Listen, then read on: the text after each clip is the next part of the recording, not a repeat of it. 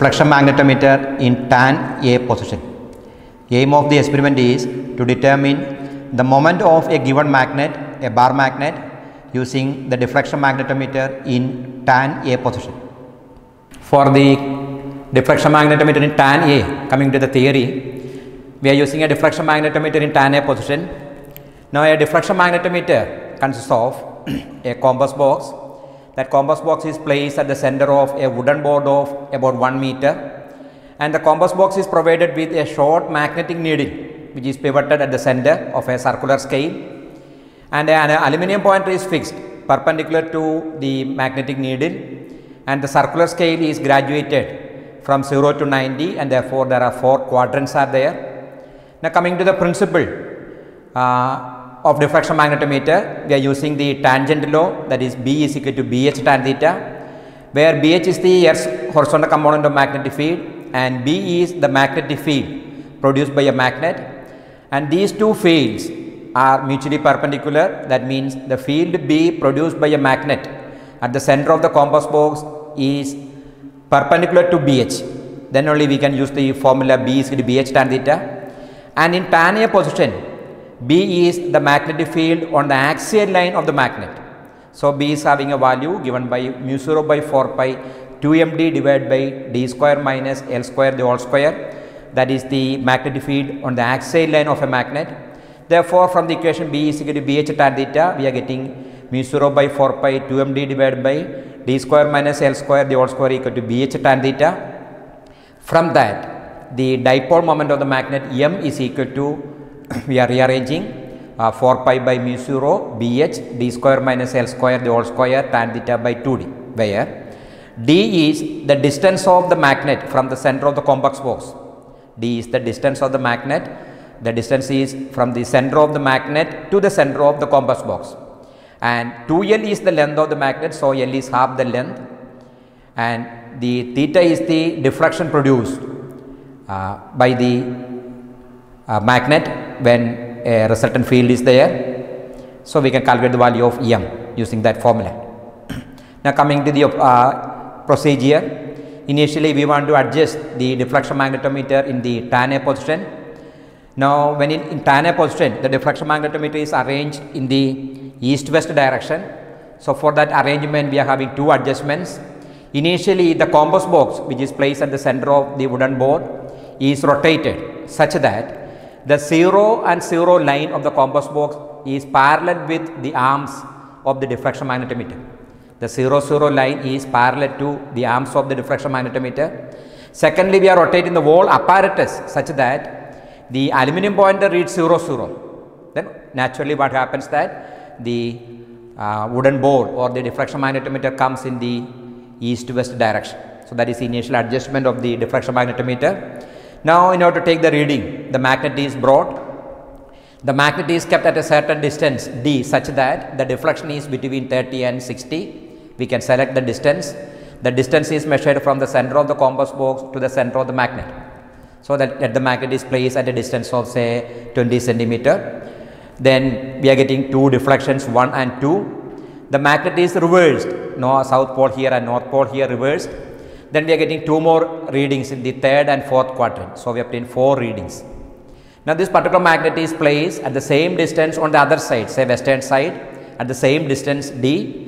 Then we are getting the reading 5 and 6. Then the magnet is reversed.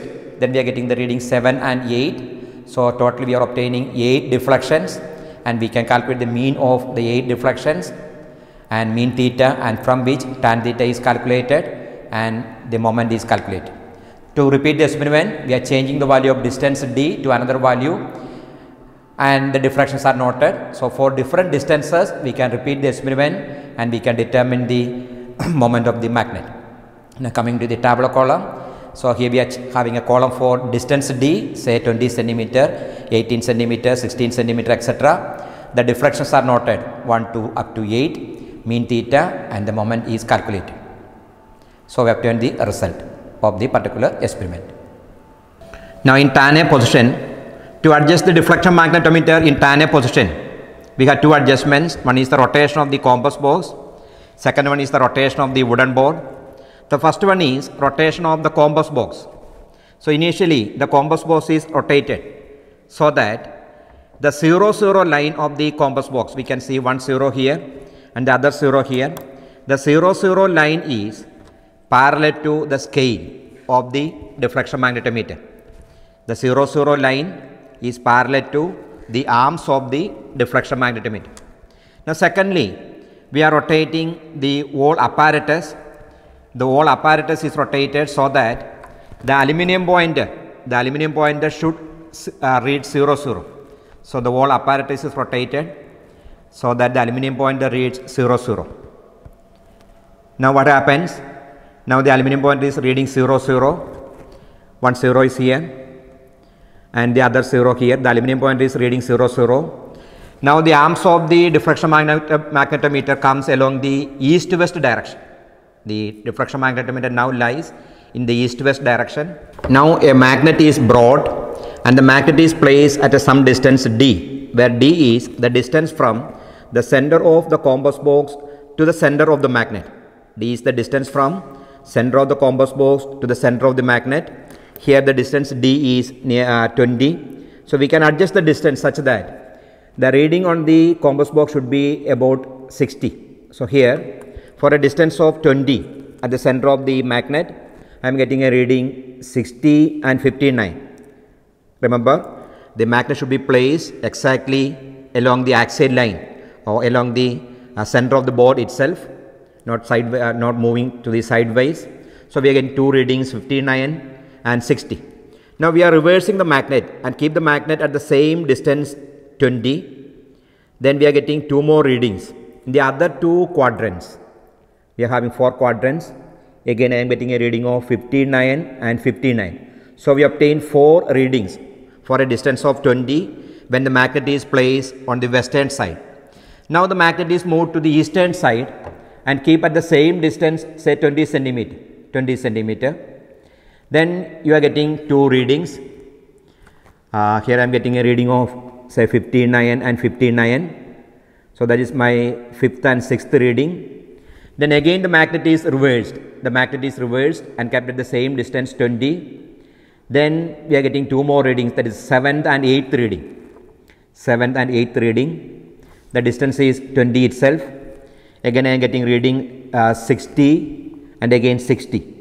So we obtain total 8 readings for a distance of 20. We can find the mean of that 8 readings that is mean theta. From that we can calculate uh, the moment of the uh, magnet tan theta and then the moment of the magnet can be calculated. Now we are repeating the experiment. We are taking another distance instead of 20. We are taking another distance say 22.